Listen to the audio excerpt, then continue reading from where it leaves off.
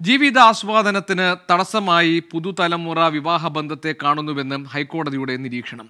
പുതുതലമുറയിൽ living together ബന്ധങ്ങൾ വർദ്ധിച്ചു വരികയാണ്.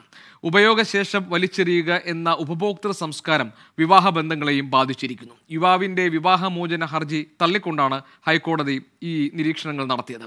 എം പി പ്രദീപ് കുമാർ വിവരങ്ങൾ നൽകാനുണ്ട്. വളരെ പ്രദീപ് വളരെ കൗതുകകരമായ ചില നിരീക്ഷണങ്ങളാണല്ലോ കോടതി ഈ ഹൈക്കോടതി നടത്തിയിരിക്കുന്നത്. ഈ ഇത്തരം നിരീക്ഷണങ്ങൾ നടത്താൻ ഇടവന്ന ഒരു സാഹചര്യം എന്തായിരുന്നു കോടതിയിൽ? എന്തൊക്കെയാണ് കോടതി ഈ പുതുതലമുറ വിവാഹ ബന്ധങ്ങളെക്കുറിച്ച് പറഞ്ഞത്?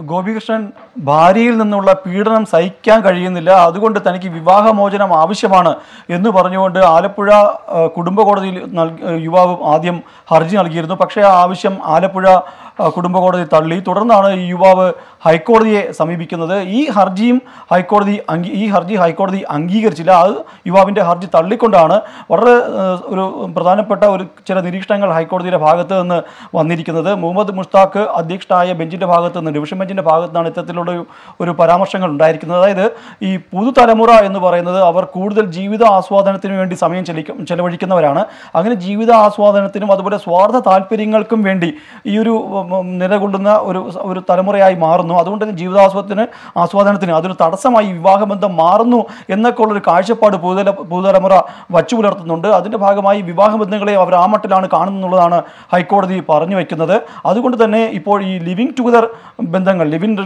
ലിവിങ് ഇൻ റിലേഷൻഷിപ്പുകൾ അത് വർദ്ധിച്ചു വരുന്നു എന്നുള്ളതാണ് ഹൈക്കോടതിയുടെ നിരീക്ഷണം. അതുകൊണ്ട് തന്നെ ഇത്തരത്തിൽ അതായത് ഇത്തരത്തിൽ ഈ ഉണ്ടാകുന്ന ബന്ധങ്ങളിലൂടെ ഉണ്ടാകുന്ന കുഞ്ഞുങ്ങൾ അതുപോലെ വിവാഹമോചനങ്ങൾ കൂടുതൽ ആൾക്കാർ വിവാഹമോചനമാകുന്ന ഒരു സ്ഥിതി ഇതെല്ലാം തന്നെ ഈ സമൂഹത്തിന്റെ കെട്ടുപാടുകളെയും ഒപ്പം തന്നെ സമൂഹത്തിന്റെ സ്ഥിതിയെയും ശാന്തതയും ഒക്കെ തന്നെ ഗുരുതരമായി ബാധിക്കുന്ന ഒരു അവസ്ഥയിലേക്ക് എത്തിച്ചേരുമെന്നൊക്കെയുള്ളതാണ് ഹൈക്കോടതിയുടെ നിരീക്ഷണങ്ങൾ.